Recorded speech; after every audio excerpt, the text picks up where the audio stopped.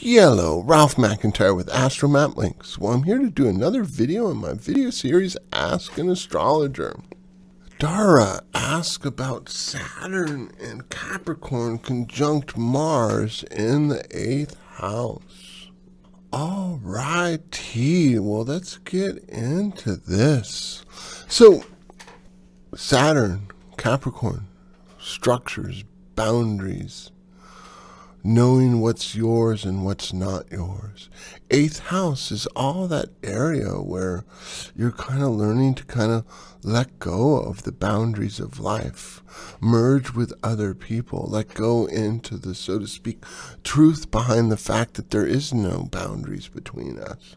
And so it's like on some levels, I'm doing a little bit of a Gemini double talk here in the sense that, you know, I'm talking about Saturn boundaries in the eighth house, no boundaries. And then we enter Mars into the picture. Mars is where we need to assert our needs, where we need to take appropriate action, where we need to have the courage to take appropriate action. And so then I want to kind of step back a little bit. I want to talk about the fact that our souls incarnate into our birth charts because that's what we need to learn to get where we're going. So, the eighth house fundamental desire is connection to the truth, to the reality, to the oneness of all of us. But fundamentally, connection requires two people. And fundamentally, one of those people is you. And so, connection cannot be forced. Connection is only available when both people feel safe enough to connect. And this is where I want to kind of jump off into this because that Saturn and Capricorn, that Mars and Capricorn, I'm presuming in the eighth house, is wanting you to set up the structures so that you can connect. But really, what the structures are is so you can feel safe enough to connect. Commitment is a big one here. You know, and so many people want to dive into the eighth house and think of it as kind of a fun adventure. But in reality, the true meaning of the eighth house is this long lifetime, multiple lifetime commitment to being there so that the other person can open up past their fears. And with a placement like yours, we're really kind of emphasizing this.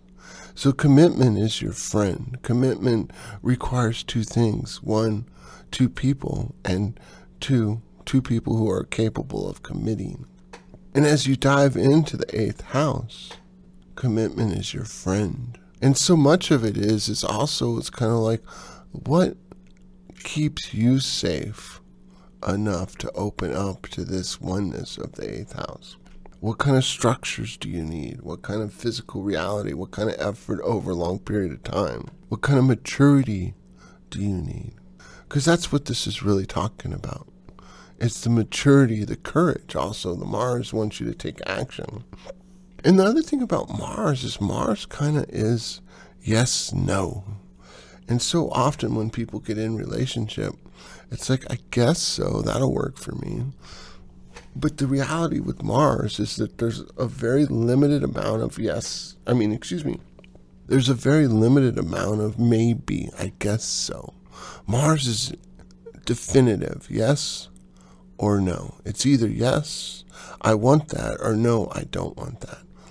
And so as you merge with another person, very likely, I suspect that from a karmic perspective, from an early childhood habits, from a, a, past life habits, you understand how to kind of lose yourself in connecting with others.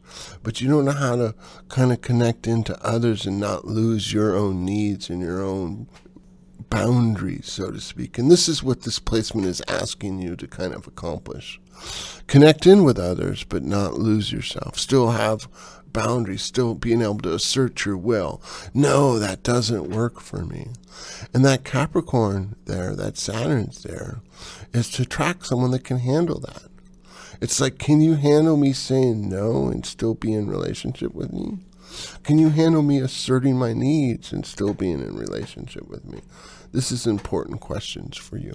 All right, I hope you liked this video. Please click like and subscribe. Have a spectacular day.